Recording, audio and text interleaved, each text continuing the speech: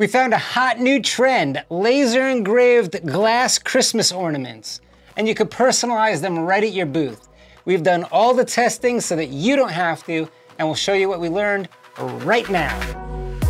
What is up? Welcome back. Do you like to do it, build it, or make it? So do we. And we have new videos each week. One of our patrons posted these really cool personalized laser engraved glass Christmas ornaments. And then once he posted them, we couldn't stop seeing them. They were everywhere. So we thought we would do this week's video on how to do and make these personalized ornaments. So you see lots of different ornaments at a craft show, and a lot of them are occupational type ornaments. Nurses, law enforcement, firefighters, whatever the case may be. There's tons of them out there. But how do you make your ornaments stand out? Personalized ornaments are a great way to make your ornaments stand out. When you're at a craft show, you're looking for unique and personalized gifts to give folks that mean something to them. If you could find a nurse ornament ornament that can, you can actually add your nurse's name to, or a law enforcement ornament where you can actually add your law enforcement officer's name to it. This is a great way to make your ornament stand out and make your booth unique at a craft show. Or if you're selling online for your online sales, being able to personalize ornaments really adds that personal touch and folks are looking for those kinds of items. So we've got a great way to show you how to personalize these ornaments. We try different brands, different colors, different laser types. We've got all the settings that we're gonna share with you today. Step one, we're gonna gather all of our supplies. We needed some glass ornaments because that's what we're making. So we tried different brands. We found them at different locations. We actually were all over town. So we checked lots of different stores. I started with Hobby Lobby, but I couldn't find a set of just plain glass ornaments that we could engrave on. So I got this because that's where I was and I but they have glitter and things, so that wasn't great. But I did find a large selection, many different colors at At Home. So at, at home. At at home. it's called at home. And there are nine ornaments for five dollars, and they came in every color, just just pretty much every color. So many of them to choose from. They were great. Then we happened to be at Walmart looking for something else, and I said, well, let me just see what Walmart has. And they had a whole selection as well. They had this one, which was a variety set of multiple colors, which was great for the project that we're doing because we got to test multiple colors. And then they had this set here I think they may have had this one in multiple colors as well. So this one was 10 ornaments for $4 and this one is eight ornaments for $6. Now I will say these, as we tested them, they're a little bit different. They, they're a little, a little, more bit, substantial. Yeah, a little bit weird too. well, they were a little thicker. I think I feel like the paint's a little thicker on these. We had to tap on them several times just to make sure it was yeah, glass. listen, they don't even sound like glass. So, but we did engrave them, and we got some lessons learned to share with you on that set. We're also going to use our Foxy Hues paints because once you engrave these, you it is pretty cool to see through, but it's a little distracting. So and adding that really color. You can't read anything if you put words on it. Yeah. So adding the color on the inside really makes it stand out. So we've done a couple of different colors here. We used navy blue, white, black.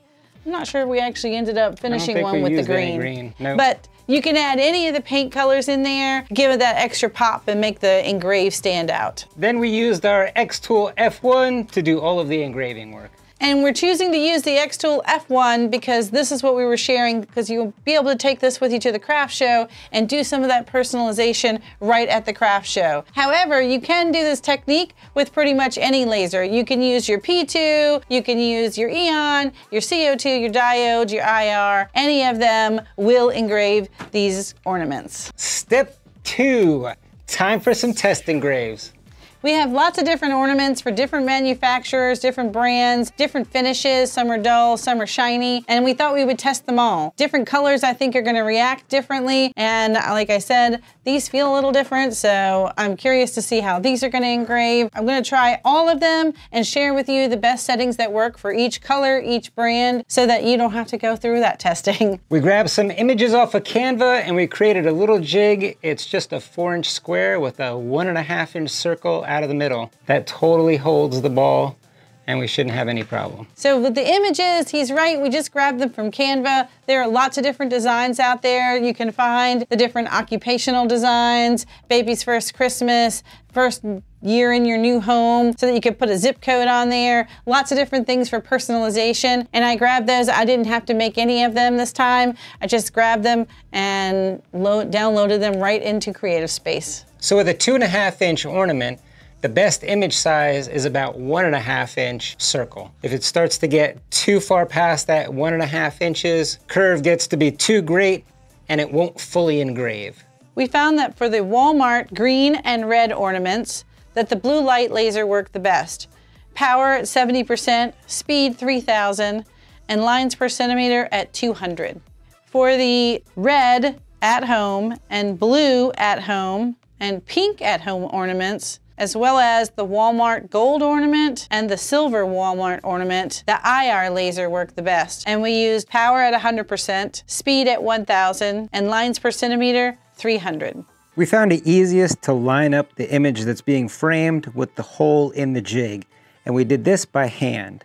We would also double check our framing over some of the shiny balls that we couldn't see the frame on using a piece of tissue paper. This would lay the flattest against the ball and allow us to see where it was going to hit on the ornament. We found that the blue light laser settings were a little bit faster than the IR settings, probably because the speed is at 3000 versus 1000, but those engraved in about 15 seconds where the IR engravings were up to 30 seconds. Both still super fast, but one was a little faster than the other. Because these ornaments have such a curved surface, some of the engravings on the outer edges didn't come off completely. So we thought at first that maybe the engraving wasn't reaching the edges with an inch and a half design.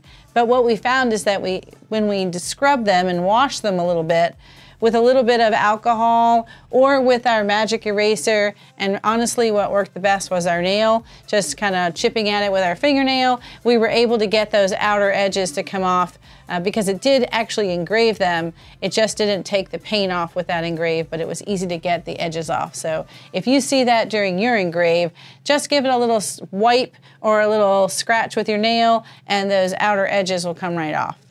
Step three. Woo, now we paint. We're not gonna use a brush. We're just gonna take the tops off and pour a little bit of paint in there and then swoosh it around until it covers up the engraved design. Super easy. Paint me, Kim. Hold on, let me shake it.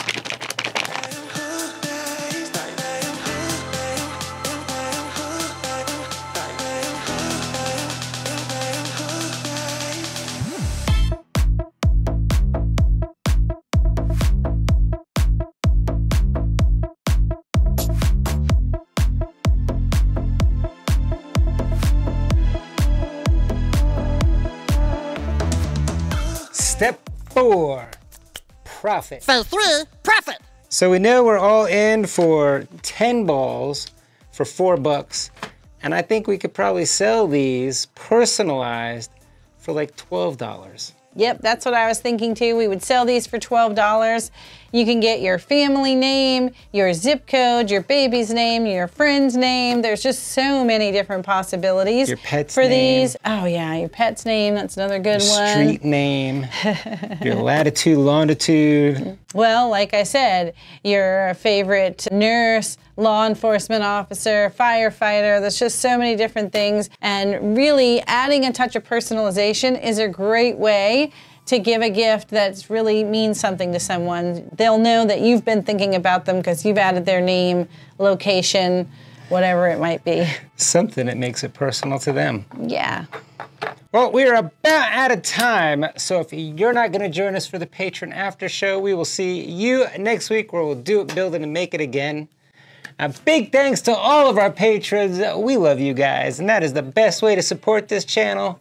Join us over on Patreon where we have the best community in town.